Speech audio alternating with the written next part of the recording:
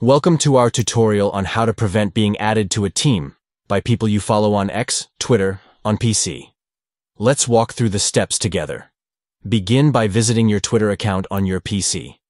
Click on your profile icon and choose Settings and Privacy from the drop-down menu. Navigate to Privacy and Safety within the Settings menu. Under the Privacy section, select the option that reads Do not allow anyone to add me to their team. By following these steps, you can control who can add you to their team, even among the people you follow on Twitter. This feature gives you the power to manage your connections and engagements on the platform more effectively. Thank you for watching.